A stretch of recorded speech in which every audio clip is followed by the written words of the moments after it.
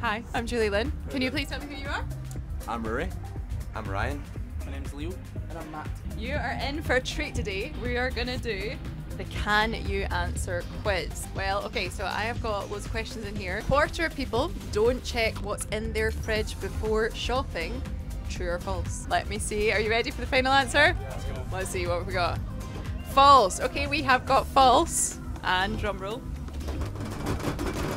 You're correct. Well done. Okay, so I've got another question for you. What do you think is worse for the environment? Plastic waste or food waste? We're actually split down the middle. We're split here. Okay, we've got a rock, paper, scissors situation going on for a 50 50 split.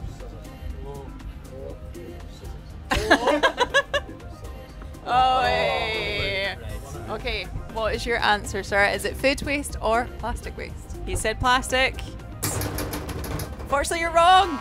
It is food waste. Well done. Well done. to you. Thank you very much. Well, guys, I hope you have an amazing gig today. Thank you so much. And uh, just please finally tell everyone who you are. You are. We're the big day.